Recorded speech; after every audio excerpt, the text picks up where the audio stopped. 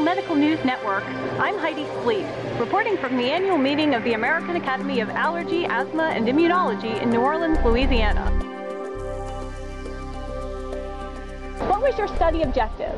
Well, the objective of our, of our study was to study the effect of mon- the addition of montelukast, which is a leukotriene receptor antagonist, to uh, fluticasone propionate, which is a steroid, intranasal steroid, in patients with perennial allergic rhinitis who had incomplete relief of symptoms after two weeks of uh, intranasal steroid use. How were you surprised by the results? Well, our initial hypothesis was that we expected to see a uh, improvement in the symptoms after the addition of montelukast. However, uh, we did not see any added uh, benefit, and in fact, patients who were on placebo and montelukast did continue to improve. However, there was uh, montelukast was not as was as effective as placebo and did not prove any uh, additional benefits. What's the take-home message for clinicians?